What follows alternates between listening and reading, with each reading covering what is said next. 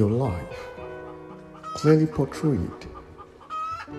Simplicity, a huge level of austerity, making me to learn that truly great man does not look serious. Under the moonlight skies, I remember at the Olokpani Ochigbo Ajogu, we used to gather round this local set to watch Mr. Ibu's play. Mm. There used to be joy unbound. We were young. Most times our fathers would flog us for keeping late.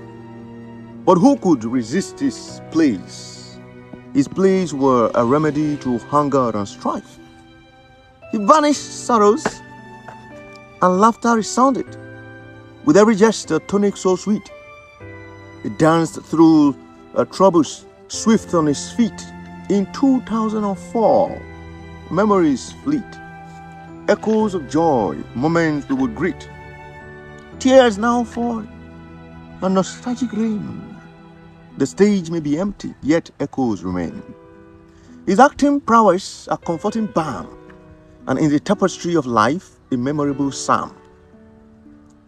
Though he's gone, his legacy stays. Laughter lives on in the roles he portrayed. Moonlight memories, a timeless replay. Mr. Ibu's magic never fades away.